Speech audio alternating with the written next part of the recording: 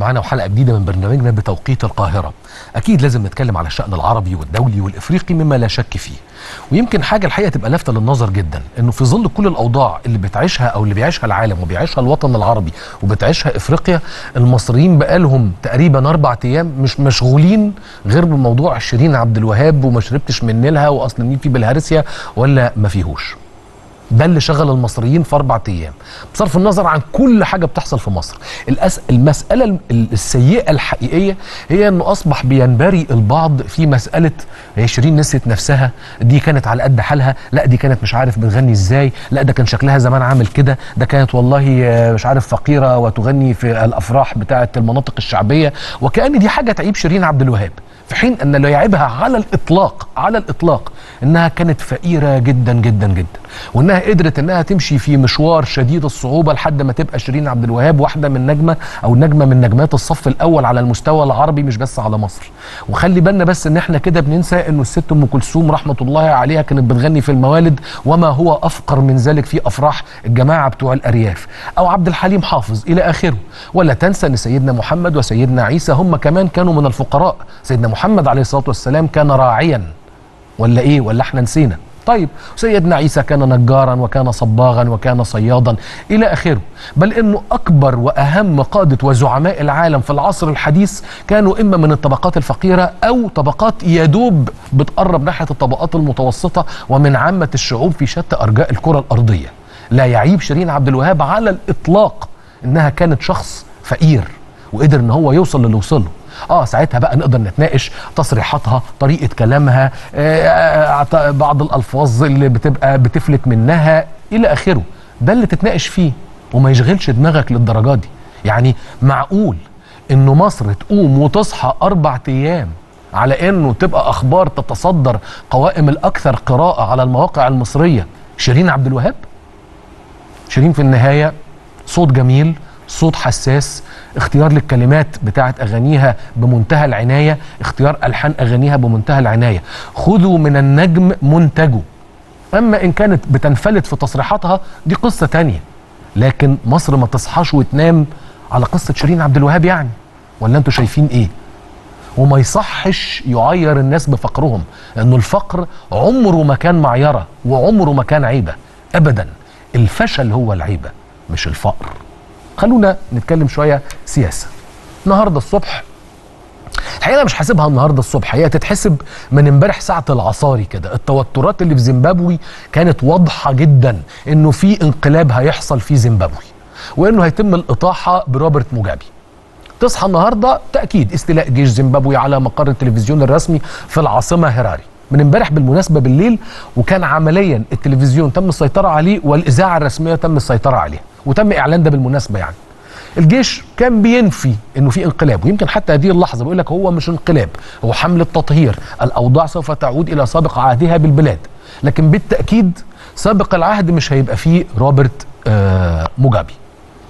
لحد ما يتم الإعلان من ساعات إنه تم الاستيلاء على السلطة أو الاستحواذ على السلطة في البلاد وإنه يتم الانتشار في شوارع زيمبابوي. وبكده عمليا بتنتهي حقبة أو فترة حكم موجابي بعد 37 سنة. موجابي 93 سنة النهارده. 93 يعني أكبر رئيس في, في على الكرة الأرضية. أكبر زعيم على الكرة الأرضية. أكبر قائد على الكرة الأرضية. أكبر إمبراطور على الكرة الأرضية. 37 سنة حكم. ضرب الرقم القياسي بتاع الرئيس حسني مبارك بقى. الله يسامحه. ضرب الرقم القياسي بتاع رحمة الله عليه معمر القذافي. ملك ملوك إفريقيا كما كان كما كان يحب أن يلقب. ضرب رقم.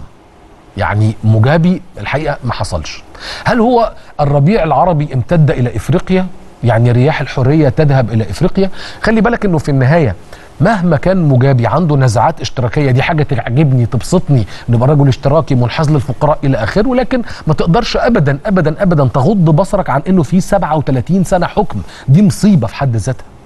ثم حديث آخر عما يدور داخل زيمبابوي من قمع أو من قمع للمعارضة أو عدم إعطاء فرصة كافية. دي حدوتة تانية نتناقش عليها أو نتناقش فيها في حينها.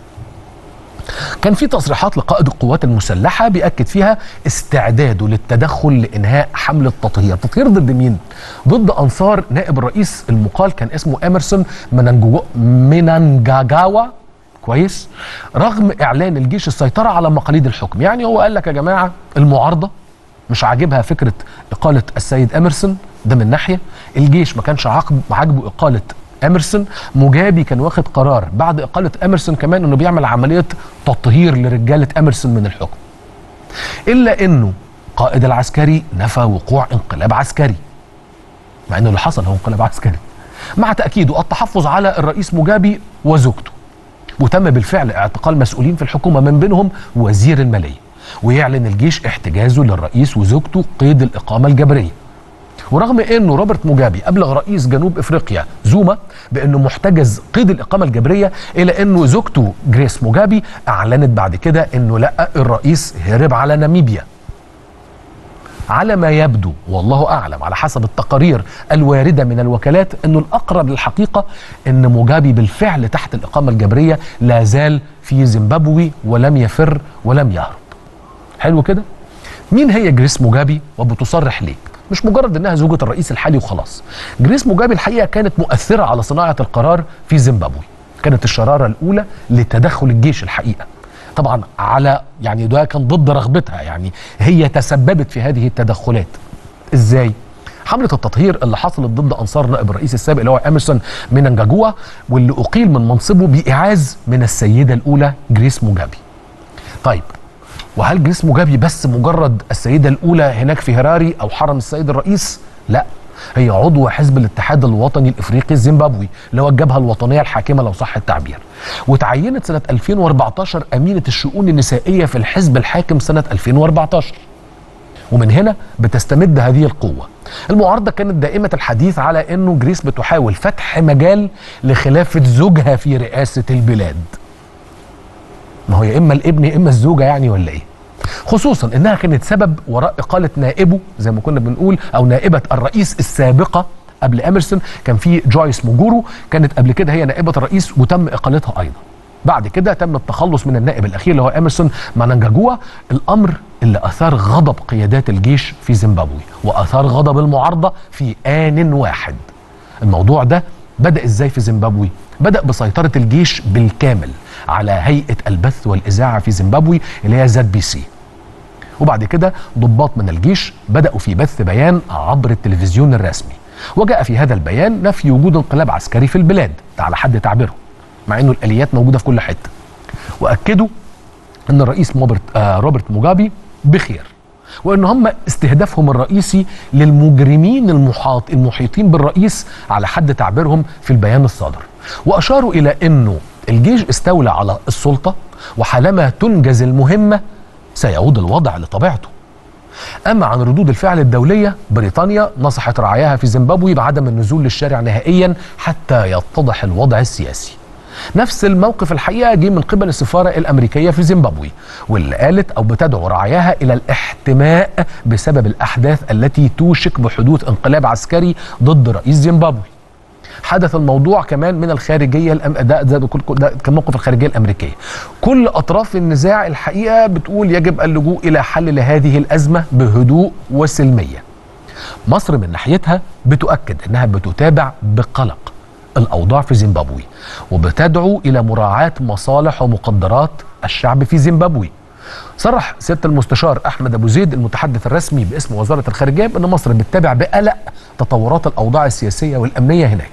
وبتدعو جميع الأطراف إلى ضبط النفس والتعامل بحكمة مع هذا الوضع الراهن بما يرعى إيه مصالح ومقدرات الشعب الزيمبابوي الشقيق على حد تعبير متحدث باسم وزارة الخارجية مستشار أحمد أبو زيد. بيوضح أحمد أبو زيد مع حفظ الالقاب بالتأكيد إن وزارة الخارجية بتتواصل على مدار الساعة مع سفارتنا في هراري. وإنه الجالية المصرية واللي تقريبا حوالي هي 80 شخص أوضاعهم مطمئنة وإنه الحمد لله لم يتعرضوا لأي مخاطر. طيب تيجي تقول لي طب وإحنا يا جماعة مهتمين بزيمبابوي ليه؟ لأن إحنا في النهاية واحد إحنا أبناء القارة الإفريقية. اثنين نحن نعتبر نفسنا إن إحنا بنعود مرة تانية إلى محيطنا الإفريقي بعد عزلة طويلة جدا دامت أو بدأت من أيام الرئيس الراحل محمد أنور السادات ولحد فترة قري- قريبة جدا يمكن نقول لحد سنة 2014 كانت علاقتنا بإفريقيا علاقة أقل حتى من المستوى الهامشي للأسف الشديد. عادت تاني مع 2014 ومع انتخاب الرئيس عبد الفتاح السيسي محاولات عودة مصر مرة أخرى إلى محيطها وجذورها الإفريقية. واستعادة العواصم الإفريقية مرة تانية لمظلة القاهرة. وتتذكروا أن كان في جهد شديد جدا لأنه كانت إفريقيا أو أغلب عواصمها أو عواصم صنع القرار الإفريقي كانت واخدة موقف ضدنا بعد 30 6 2013 واستطعنا إن إحنا نوضح رؤيتنا. واستطعنا إن إحنا نوضح الحقيقة وجهات نظرنا في هذا الموضوع. وأثبتنا براءتنا بما لا يدع أي مجال للشك. ورجعنا تاني للمحيط الإفريقي كعاصمه كعاصمة صنع قرار. أو مظلة بإذن الله وطبعا بحب الأفارقة إلى إنه نبقى إحنا مظلة القرار الإفريقي إذا صح التعبير. أي أحداث أو أي قلاقل في المنطقة سواء إذا كان إفريقيا أو في المنطقة العربية بشكل أكثر خصوصية أو حتى في منطقة حوض البحر المتوسط يجب أن نعلم أن ده جزء من حاجة اسمها الدوائر الحيوية المصرية يعني إيه الدوائر الحيوية المصرية يا جماعة؟ هي الدوائر اللي مصر بترى أنه لها الحق في أن تكون في موقع التأثير. يعني إحنا مثلا بحر متوسط إحنا إفريقيا إحنا المنطقة العربية كل دي مواضع تأثير. طب كده إحنا بنتكلم على ثلاث دوائر. وماذا عن وسط إفريقيا وسط آسيا على سبيل المثال؟ المفروض إن إحنا لينا المفروض نلعب دور بنستعيد الدور محاولات استعادة الدور. طيب وفي كان عندنا علاقات قديمة جدا زي مع الهند على سبيل المثال من وقت تشكيلنا لكتله عدم الانحياز. ده على سبيل المثال لو تفتكروا كانت الهند ويوغوسلافيا ومصر كان عندنا آآ آآ آآ كان نهرو في الهند تيتو في يوغوسلافيا جمال عبد الناصر في مصر. كنا عاملين كتلة سياسية شديدة الأهمية اللي هي تكتل دول عدم الانحياز إن كنتم تتذكروا. طيب عندنا دوائر من نستطيع منها إن إحنا نخلقها أو نستعيدها كدوائر حيوية مصرية زي أمريكا اللاتينية أمريكا الجنوبية إذا صح التعبير. ليه؟ لأن إحنا كان لينا دور مهم جدا فترة الستينيات المسألة ما هياش اجترار للماضي لكن المسألة هي إن مصر تمد إيديها دايما علشان تقدر توصل إلى إنه مش بس دي مجرد دوائر حيوية نقدر نؤثر في قراراتها ولكن المسألة هي التأثير الإيجابي في القرار. زي ما أي دولة محترمة بتشتغل. أمريكا مش عندها دوائر حيوية؟ طبعا. روسيا الاتحادية عندها؟ طبعا. يا راجل إيران عندها. إحنا إزاي ما يبقاش في عندنا دوائر حيوية؟ بنشتغل على ده بنشتغل على استعاده استعادة العواصم العربية بنشتغل على استعادة العواصم الإفريقية.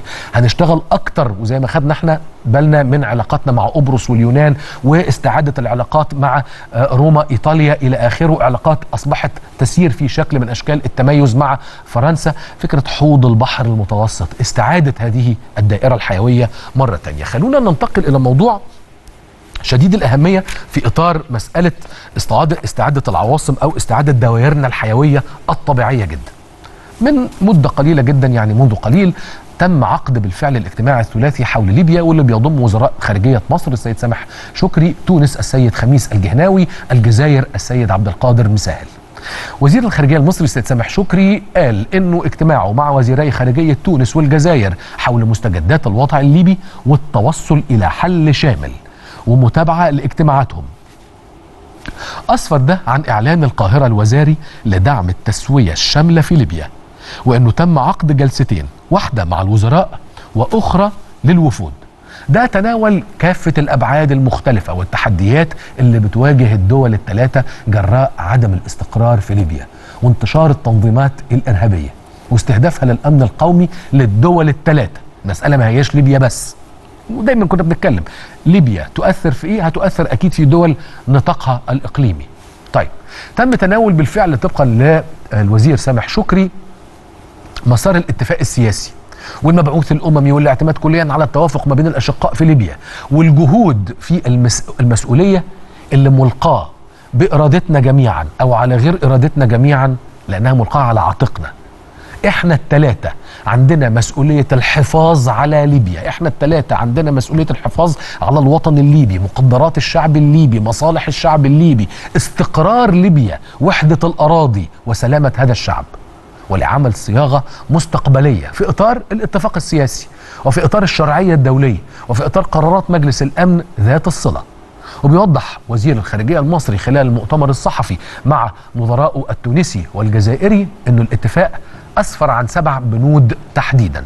الأول هو التشاور حول الوضع الليبي وجهود دعم الحوار الليبي الليبي والتوصل لحل شامل للأزمة الليبية في إطار المبادرة الثلاثية.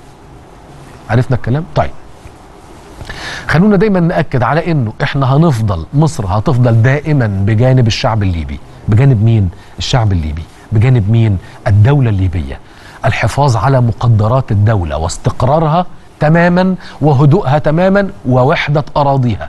لا تقسيم ولا ما تقسمش مفيش الكلام ده. خلونا نروح لصورة الحقيقة تداولها كم ناس.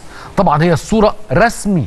طالعه من عند القطريين أو تحديدا من النظام الحاكم. الصورة طالعة رسمي من عند تنظيم الإخوان الذي يحاول دائما أن يروج الشائعة ويفبرك قدر الإمكان. تمام؟ أظن حضراتكم سمعتوا عن الزيارة بتاعة جلالة الملك محمد السادس ملك المغرب الشقيقة الرائعة الجميلة وإنه هو راح في زيارة للمغرب. جميل. وماله؟ إيه المشكلة يعني؟ العاهل المغربي يزور العاهل القطري. أهلا وسهلا. فيهاش أي أزمة يعني. كل واحد حر في توجهاته. مفيش مشكلة. تمام. لكن الصورة اللي تم ترويجها إنه جلالة الملك محمد السادس يرفع وشاحا ويمسكه كده. يا سلام! رئيس اتحاد طلبة هو اصله لكم العالم ولنا تميم. ده ملك. وشاح إيه اللي هيمسكه وهيشيله. وانتشرت الصورة على مواقع التواصل الاجتماعي انتشار النار في الهشيم. واتعمل لها هاشتاج. يجي السيد ياسر الزناكي وهو مستشار الملك في المغرب.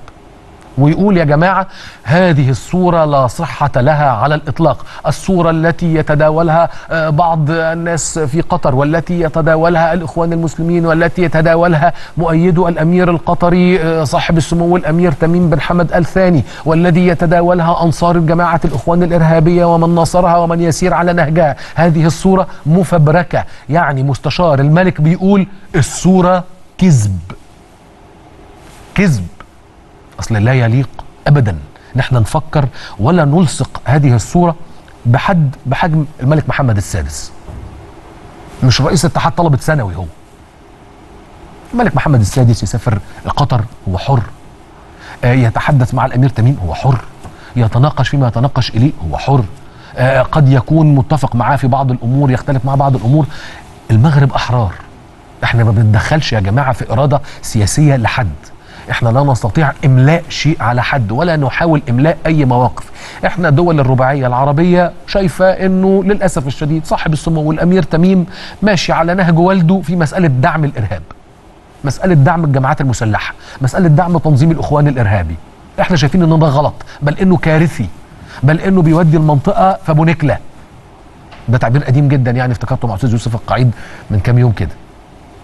كنا بنتكلم كده في مناقشة فقال تعبير أبو نكله ده فافتكرته يعني. كانت أمي دايما الله دي صح؟ هتستخدمه. فهنروح في أبو نكله لو فضل الأمير تميم يسير على هذا النهج ويمضي في هذا الغي المنطقة بالكامل هتروح في أبو نكله وبالتالي دول الرباعية العربية مصر والإمارات والمملكة العربية السعودية ومملكة البحرين خدوا قرار وقالوا إحنا مش هنسمح بده وهنوقف هذا المد للأسف الشديد. إحنا آسفين جدا إحنا لازم نوقف ده. محدش يزعل يا جماعة. وهنوقفه بالحسنى. تمام؟ على كل حال جاءت تصريحات مستشار الملك المغربي اللي بتنفي هذه الصورة من صحتها على الإطلاق. طبعا ما نفوش الزيارة وده لأنه الزياره حقيقية. وتاني إحنا ملناش دعوة. إحنا اللي لينا ان إحنا ماشيين في طريقنا. ماشيين في طريقنا لأن إحنا عندنا قناعة ويقين ومعتقدين جدا إن إحنا ماشيين في الطريق الصح. وهنفضل ماشيين لحد الآخر. ممكن ده حتى بيفكرني بإن أنا كنت بتفرج على الاستاذ معتز مطر في قناة الشرق فكان بيعلق على آه كلام وزيرة التخطيط المصرية في المؤتمر أخبار اليوم الاقتصادي على أنها كانت بتتكلم أنه رئيس الوزراء المهندس شريف إسماعيل ربنا يديله الصحة آه وصاها بأنها تدي بشرة جيدة للمصريين من خلال هذا المؤتمر وأن معدلات النمو في مصر في الربع الأخير من 2016 وصلت ل 5% وأن هذا المعدل مستمر. فكان الزميل معتز مطر الحقيقة ربنا يسامحه مصمم على أنه ده كذب. وإنه ده كلام فارغ وإنه ده استهلاك محلي وإنه دي تصريحات في شنك بتطلقها وزيرة التخطيط ويطلقها رئيس الوزراء المصري. بس أنا عايز أدعو الأستاذ معتز وإن كنت أعلم إنه إنجليزيته مش قوية لكن المسألة سهلة بسيطة. كرسي في المجلس الثقافي البريطاني زائد إنه ممكن يجيب حد يقراها له. ادخل على موقع بلومبرج وشوف التقرير بتاع بلومبرج. بلومبرج بالمناسبة يعني موقع اقتصادي شديد الأهمية. شديد الأهمية يكاد يكون الموقع الاقتصادي الأول على مستوى العالم. وشوف هم كاتبين إيه على مسألة تحديدا أهو تاني تحديدا مسألة معدلات النمو في مصر. الحقيقة بلومبرج هي اللي بتقول قبلنا قبل ما إحنا نطلع هذه الأرقام. في مؤتمر أخبار اليوم أنا بقول لك التقرير طالع على بلومبرج من أكتر من 14 يوم. هو اللي بيتكلم على ان معدلات النمو في مصر 5% وإنه في طريقها للزيادة. ده واحد. بلومبرج هم اللي قالوا من أكتر من 3 أشهر إن معدلات البطالة في مصر في طريقها للانخفاض داني ده على بلومبرج. أربعة بلومبرج هم اللي قالوا تحديدا على إنه في العام المالي 2018 2019 في بوادر شوف استخدام برضو التعبير في بوادر لانخفاض معدلات التضخم لتصل تقريبا ل 13 14% ده بلومبرج يا عم معتز. ده مش بس الحقيقة وزارة رئاسة الوزراء المصرية ولا وزيرة التخطيط المصرية. ما بلاش ناخد الحاجات من على الوش. ولا داعي لترويج شائعات أو لترويج أكاذيب. ومش هنتهمك يا عم إن أنت بتروج الشائعة ولا بتروج لكذبة. هنقول إنه أنت بس ما قريتش تقرير بلومبرج أو إن المعلومة عندك ما كانتش كاملة أو ما كانتش صحيحة أو ما شفتهاش أو مش عاوز تشوفها. ده موضوع تاني. خلونا نروح للمرة الثالثه آه لا المرة الثالثه إيه؟ خلونا نتكلم في آه للمرة الثالثة منذ بداية مقاطعة الخليج لقطر التقى أمير قطر صاحب السمو الأمير تميم بن حمد الثاني التقى بإمبراطور الديمقراطية في العالم. رجل الحريات الأشهر الرجل الذي لا ينطق بخطأ الرجل الذي يدعم الحرية في بلاده قبل أن يدعمها خارجا. رجب طيب أردوغان الملاك اللي نزل من السماء أبو جناحين الجميل ده. اللي عمره ما اعتقل حد اللي عمره ما قفل جورنال اللي عمره ما لغى برنامج اللي عمره ما عذب صحفيين اللي عمره ما طارد المعارضة لحد ما هربوا وراحوا قعدوا في أمريكا. أبدا. رجب طيب إردوغان ده راجل عظيم ديمقراطي. زي ما كده الدوحة هي كعبة المظلومين. يعني تركيا ديمقراطية والدوحة كعبة المظلومين. حاجة الحقيقة تضحك. ماشي. دي ده اللقاء الثالث الحقيقة من وقت ما الرباعية العربية خدت قرارها بشأن طريقة تعامل خاصة مع قطر. وبحثوا مع بعض الحقيقة في القضايا الإقليم الإقليمية في ثالث لقاء بينهم. طبعا القضايا الإقليمية من من وجهة نظرهم هو تحالف لضرب المنطقة. تحالف لعسكرة المنطقة تحالف لاشتعال المنطقة وإشعاع والمزيد من إشعالها.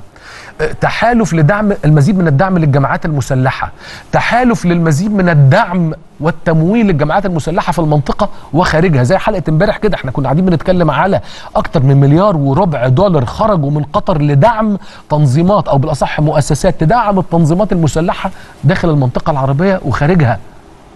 ده حاجة كده كان في البسيط اللي إحنا عملناه امبارح في التسع دول. ده على السريع على السخان زي صديق أحمد الجزار ما دايما يستخدم على السخان. ده البحث اللي ممكن يقوم ما بين أمير قطر وما بين رئيس تركيا للأسف الشديد.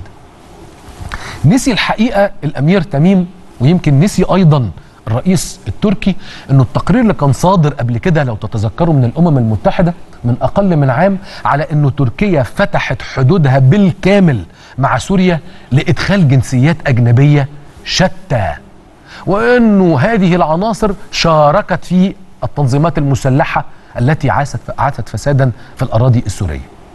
طبعا إردوغان في لقائه مع تميم لازم ينتقد العقوبات ويطالب برفعها وكما جرت العادة قامت بلاده بإرسال مواد غذائية إلى الدوحة لتعويض النقص جراء العقوبات وشيدت آه، تركيا لو تفتكروا من حوالي من شهرين أظن ولا ثلاث أشهر كان هي ما كانش من شهرين هي استمرت في بروتوكول التعاون العسكري مع قطر تحديدا وأنهت موضوع القاعدة العسكرية اللي موجودة في قطر. فيبقى في قاعدة تركية في قطر؟ ويبقى في قاعدة أمريكية في قطر؟ ما فيش مانع. التقارير بتفيد بوجود حوالي 150 رتبة كبيرة تركية على الأراضي القطرية. رتبة كبيرة. حاجة يعني جنرالات وكولونيلات أتراك هم الحقيقة الظاهر اللي هيقودوا الجيش القطري. أربأ بالجيش القطري إن هو يقبل مثل هذا الموضوع. على كل نربأ ولا ما نربأش؟ ده موضوع أكيد مش هيلقى هوى لدى القيادة القطرية ولا يعني يلقى هوى بالقطع مع الأتراك. بس هي يعني كلمتين لوجه الله. هو الأتراك بيدوكوا ده بلوشي ولا بياخدوا فلوس؟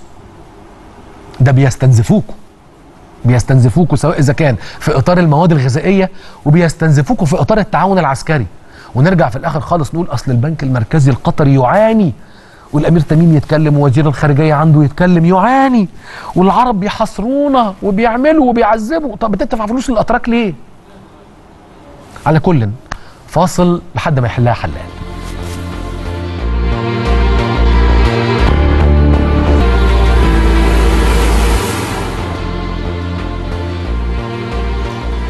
إزاي الحال مرة تانية؟ لا يعتقد المذيع أن قضية سد النهضة عادت المربع رقم صفر ولا حاجة. بس ده ظن المذيع. فشلت الاجتماعات فشلت الاجتماعات. آه ده للأسف الشديد اللي حصل. أو ما أثمرتش اللي إحنا عايزينه. ده اجتماع اللجنة الفنية الثلاثية وهي المعنية بمسألة مفاوضات سد النهضة على المستوى الوزاري واللي استضافته القاهرة بمشاركة وزراء الموارد المائية لمصر والسودان وإثيوبيا. وعدم التوصل لاتفاق بشأن اعتماد التقرير الاستهلاكي الخاص بالدراسات. والخاص بآثار سد النهضة على دولتي المصب واللي أعده أحد المكاتب الاستشارية الفرنسية. ده على الرغم من موافقة مصر المبدئية على التقرير الا أن السودان وإثيوبيا ما أبدوش موافقتهم على هذا التقرير. خلونا بعد إذنكم نحاول نفهم الموضوع بعيدا عن القيل والقال والصوت العالي على الفاضي. يشرفنا إن إحنا يكون موجود معانا داخل الاستوديو سياده السفير محمد الشاذلي عضو المجلس المصري للشؤون الخارجية. شرفنا يا فندم. أهلا بيك هل فعلا كما يرى البعض إن المفاوضات عادت إلى المربع رقم صفر ولا إنه الموضوع مش بهذا الشكل؟ لا الموضوع بهذا الشكل. إلى هذا الحد؟ صفر. إلى إلى هذا الحد. شوف الحكماء العرب زمان سألوهم ما هو العلم؟ قال لهم معرفة ما سيكون بمكان. يعني كانت هذه النتيجة لكل من استقرأ تطورات الموضوع. واضحة وضوح الشمس. أنت النهارده إثيوبيا اولا. بتستخدم التكتيك الإسرائيلي في التفاوض. إسرائيل عمالة تماطل تماطل تماطل في نفس الوقت عمالة تبني مستع- مستعمرات و اشتغل على عامل الوقت. على ونفس الشيء طبقته. إثيوبيا إثيوبيا النهارده مش عايزة تصل إلى اتفاق. إثيوبيا عايزة تصل إلى عقد إذعان. يعني منذ البداية آه، كان هناك آه، اتفاق على يعني آه، جهة فنية آه، تضع تقرير عن اثار السد. آه، لم نتمكن من الاتفاق مع إثيوبيا على آه، مكتب محدد. فقلنا إحنا هنختار مكتب وهم هيختاروا مكتب. إحنا اخترنا آه، شركة هولندية وهم اختاروا شركة فرنسية. آه، وضعوا العراقيل أمام الشركة الهولندية حتى انسحبت. وقبلنا هذا. آه، كيف يعني تستطيع أن عملنا ما قلنا عليه ال ال البرنامج الاسترشادي من عشر نقاط. آه، البرنامج الاسترشادي ده يعني أهم نقاطه. اولا الالتزام بالقانون الدولي. هم ضربوا بالقانون الدولي عرض الحائط. القانون الدولي بيقول لك حق الاختار لا ضرر لا ضرار. آه، ضربوا بهذا عرض الحائط. يعني من ضمن الحاجات اللي اتقالت وأنا كنت يعني متعجب إنها تقال وأن تقبل.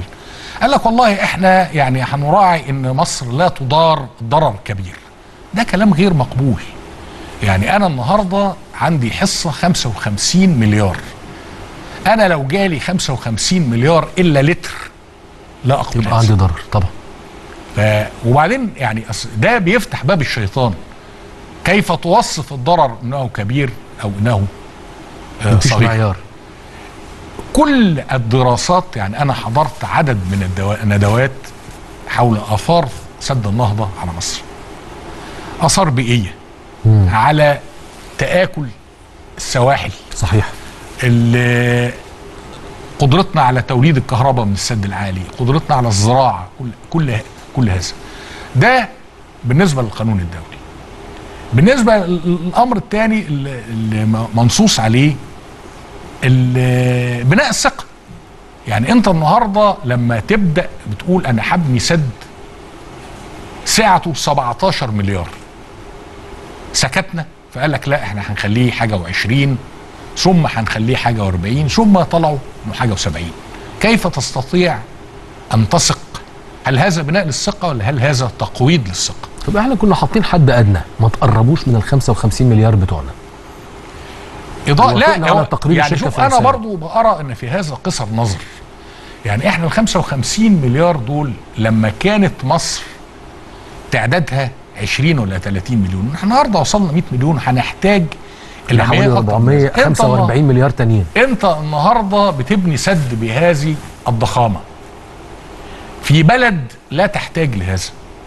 يعني أنت النهارده إثيوبيا اللي بتحسدنا على ال 55 مليار بيسقط عليها ألف مليار من مياه الأمطار. مم. آه، أوغندا بيسقط عليها 600 مليار. يعني انت حصتك من مياه النيل تكاد لا تذكر. خالص. ال ال ال وأيضا تأخذ في الاعتبار شيء مهم جدا. إن أنت لو جيت كده بفعل إلهي شلت نهر النيل من الخريطة دول حوض النيل لن تتأثر لأنها كلها عايشة على الأمطار. مصر هتموت. تتضرر ضرر بالغ. لا مش هتتضرر ضرر بالغ. مصر هتموت إذا أنت مسيت بحصتها في مياه النيل. دي حصة بالأساس أقل من حد الفقر المائي اللي هو 600 مليار. في بناء ال ال آسف 600 متر مكعب. في بناء ال- الثقة. لو تابعت الإعلام الإثيوبي لو تابعت مناهج الدراسية في المدارس الإثيوبية والشحن ضد مصر وإن مصر بتاخد أكتر من حصتها من مياه النيل إن مصر بتطمع في السيطرة على مياه النيل. على مدى التاريخ متى باتت دولة من دول حوض النيل ظمآنة؟ وحتى من الناحية الطبيعية أنت لا يمكن أنت لا تستطيع أن تمنع الماء المياه عن دول المصدر. أنا مصب مش منبع. أنت مصب مش منبع. كل دي الحقيقة عملية الشحن آه، ضد مصر. آه، يعني وأنا برضو شوف بقرا إن إحنا برضو نحمل بعض الوزر. طيب أنا عايز أستأذن حضرتك هروح لفاصل وأتحدث على مسألة بعض الوزر الذي نحمله بشأن هذه القضية. هستاذن نروح لفاصل ونرجع نكمل الكلام مع سياده سفير محمد الشاذلي عضو المجلس المصري للشؤون الخارجية حول مفاوضات سد النهضة وبعض الوزر الذي تتحمله مصر.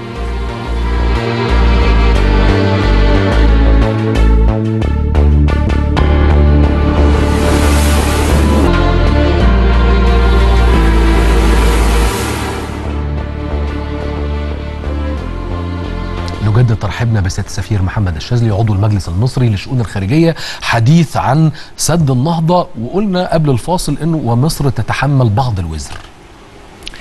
يعني شوف برضو إحنا يعني أخيرا سيد وزير الري يعني أعرب عن قلقه من تعثر المفاوضات والتعنت الإثيوبي. تأخرنا كثيرا في قول هذا. يعني إثيوبيا تعنتت منذ البداية. آه تعاملنا معاها بلين زائد عن الحد وأنا بشوف أنا بعتقد إن في العلاقات الدولية في مدرستين مدرسة تشرشل. ومدرسة آه كان رئيس الوزراء في هذا الوقت آه مش حاضرني اسمه اللي هو راح قابل هتلر وقال خلاص الموضوع اتحل ومفيش حرب ومفيش هتلر كان بيتك... آه آه تشرشل كان بيتكلم بقوة ها. لو كان آه تشرشل كفته رجعت ما كانش رئيس وزراء في هذا الوقت كان رضع ألمانيا عن التمادي في غيها وكنا تجنبنا الحرب العالمية الثانية آه تشمبرلين الثاني. آه انت لما بتتحدث بقوة دون تهديد أو دون يعني آه كلام آه متهور. آه زي اللي يقول لك نضرب السد ونحارب. ده. كلام كلام غير غير منطقي طبعا. وغير ولا يؤدي إلى حلحلة الموضوع. طبعا. ولكن عندما تتكلم بحزم إن أنا ليا حقوق بيضمنها القانون الدولي وبيضمنها التوارث التاريخي وتتجه إلى الجهات المعنية بمنع النزاعات.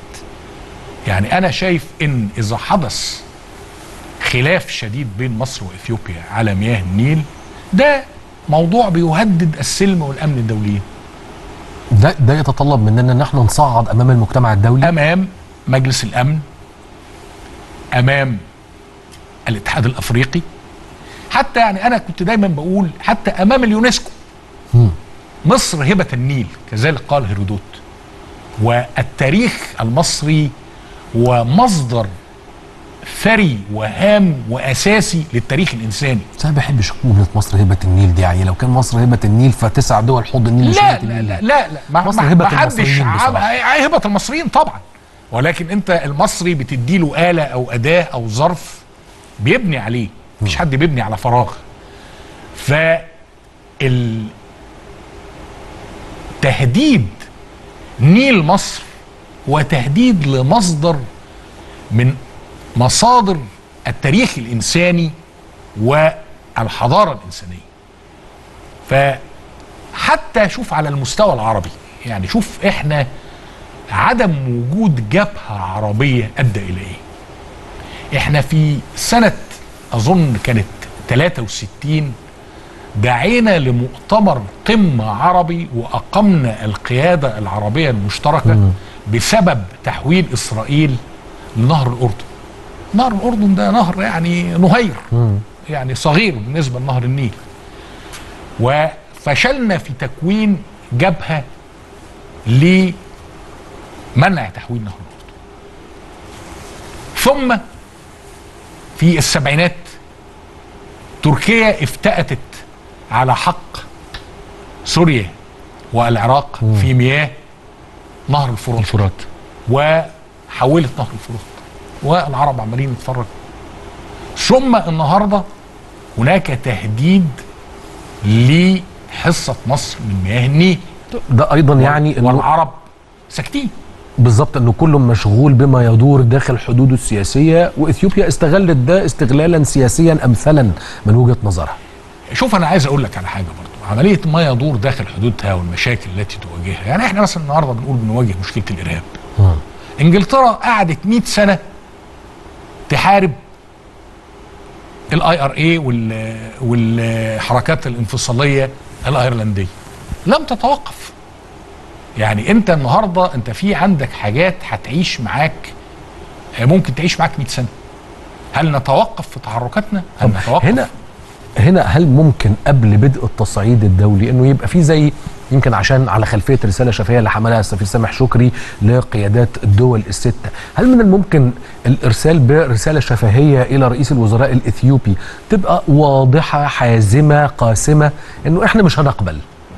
فشوفوا هتعملوا إيه لكن إحنا مش مستعدين يعني نتقبل هذا الوضع. برضو أنا للأسف شايف إن مش هنقبل فات املها أنت النهارده في مرحلة احتواء الضرر. لأن خلاص السد اتبنى يعني السد اتبنى المسألة بتتعلق بالطاقة الاستيعابية بتاعت السد والمدة. المدة ملء الخزان من جانب. ثم حصة مصر في هذه المياه. يعني إحنا يجب منذ الآن أن يكون لنا مطلب لأن عملية الاكتفاء بال 55 مليار ده يعني شيء غير أنا لازم. أرفع السقف التفاوضي بتاعي. لازم أ- أرفع السقف التفاوضي بتاعي ولازم يكون هناك موقف عربي وموقف أفريقي يعني أنت النهارده يجب أن تدرك دول حوض النيل إن إحنا لا نريد أن نقطع المياه عن أحد لا نريد أن نقطع الرزق عن أحد لا نريد أن نقطع التنمية عن أحد ولكننا إحنا بندافع عن حياتنا وبقائنا ووجودنا. بس إحنا برضو أظن وضحنا في مرحلة من المراحل إن إحنا مستعدين على مشروعات تعاونية لأجل توليد الطاقة وبناء قاعدة صناعية إثيوبية إلى آخره. وبرضو الكلام هم خدوه وما التفتوش. شوف برضو يا أخي العزيز أنا بأرى إن إنك تتحدث في هذه المرحلة عن مشروعات نشارك فيها في إثيوبيا ده مش مطلوب. ده هينظر إليه إلى إنه آه خضوع. استسلام لابتزاز. هذه المرحلة يجب أن يدرك الطرف الآخر إن من يؤذي مصر مصر قادرة على إيذائه. طب أنا هنا وايذاؤه ليس بالضرورة بالحرب. طبعا طبعا طبعا. مصر ما بتحبش يعني. أساليب كثيرة جدا طب هنا يجي سؤال يا فندم. يعني أنا بالظبط فاضل لي دقيقتين. في رأي حضرتك مين في إفريقيا ومين في المنطقة العربية يقدر ياخد معانا موقف أو بجانبنا موقف ويكون هو أصلا عنده قدرة فاعلة؟ في عندك الدول الخليجيه اللي للأسف ساهمت في تمويل السد. يعني يعني العمودي اتقبض عليه. يعني ده اتقبض عليه قطر شغالة. لأسباب أخرى. قصة تانية بالظبط. قصة تانية تماما. بس يعني جت كده. جت كده. قطر. ال- بقى قطر انت النهارده أول حاجة عملها ال ال ال. رئيس الوزراء انه راح قطر. فيعني واضح إن قطر آه، مستفيدة من هذا الموقف. ديسالين صديق عزيز دلوقتي. ويجب أن يدرك الجميع إن عدم الاستقرار في أفريقيا هيضر الجميع. يعني إحنا لن مفيش أي دولة في العالم هتقف مكتوفة الأيدي إذا كان وجو- وجودها وحياتها مهدد.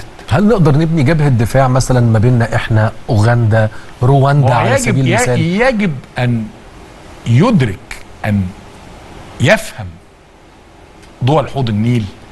إن أي صراع بين مصر وإثيوبيا مش ضروري حرب لا مجرد صراع هيؤدي إلى عدم استقرار في منطقة حوض النيل حوض النيل. بالكامل. وليس في مصلحة أحد ليس م... النهارده أفريقيا من اثرى قارات العالم صحيح. بمواردها والذي يجعلها أفخر قارة في في العالم هو عدم الاستقرار عدم الاستقرار في إفريقيا. هو الآفة الكبرى الحقيقة من وقت الاستعمار الكولونيالي بالتعبير الكلاسيكي القديم. سياده السفير نورتنا وشرفتنا. شكراً. ونتمنى إن إحنا نتقابل تاني في في قضايا قد تكون هي ذاتها وقضايا مختلفة بس في وقت أكبر من كده بكتير. إن شاء الله. أشكرك جدا يا فندم. كل الشكر. ده حقيقي. في النهاية إفريقيا هي قارة ثرية. للأسف الشديد قارة تم استعبادها احتلالها اتعمل فيها اللي ما يتعملش؟ إيه اللي بيحصل في زيمبابوي؟ تثبته الأيام. يا ترى هيجيبوا رئيس ال- قصد نائب الرئيس المعزول؟ ولا حد من الجيش هو اللي هيحكم. يعلم ربنا. خلصت الحلقة ولو كان لنا العمر هنتقابل يوم السبت الجاي الساعة 8 مساء بتوقيت القاهرة. سلامات.